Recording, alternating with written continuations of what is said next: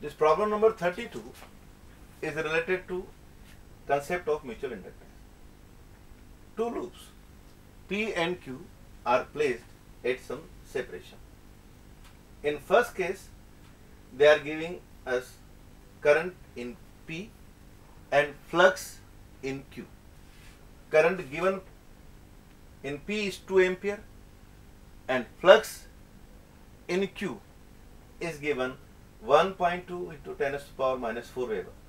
We can use relation phi equal to mi which will give me equation number 1 1.2 into 10 to the power 4 equals to m into 2.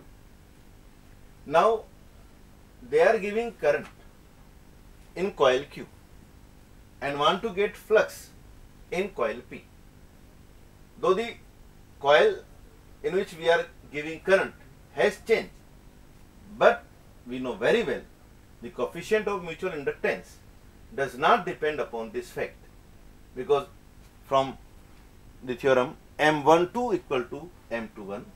So, if I take the same coefficient of mutual inductance, this time current in Q is 6 ampere and we are interested in getting flux in P, let it be phi, then I will get equation number 2, phi equal to m into 6. Now divide equation 1 by equation 2. I will get my answer for the flux in P due to 6 ampere current in Q equal to 3.6 into 10 to the power minus 4 Weber and hence answer is option number 3. Question number 36. This problem is related to electromagnetic wave. As we know in electromagnetic wave time varying E produces B and time varying B produces E. As they are producing each other, E and B are related to each other. The relation is E equal to BC. In the problem, they have given us B equal to 40 nano Tesla.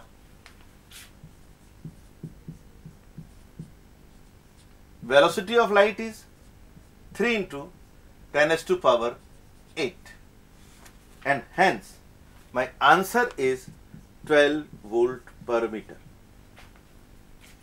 Option number 4 is correct option.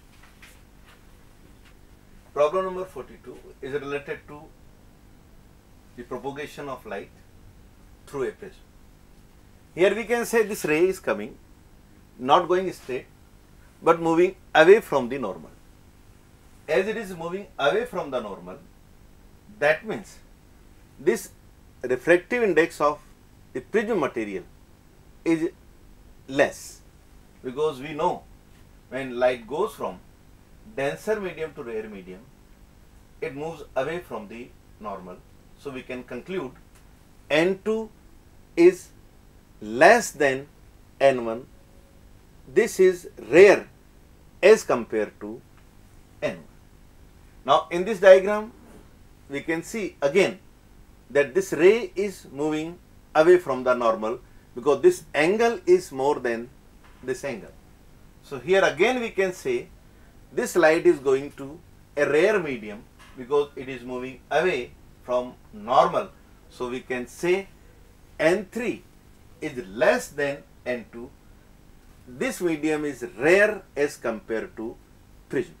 So in the sequence we can say N2 is less than N1 as this ray is moving away from the normal. N3 is less than N2 as this ray is moving away from the normal. So we can say N3 is minimum and N1 is maximum. So the sequence is N1 is greater than N2, N2 is greater than N3 and hence option number 3 is my correct answer.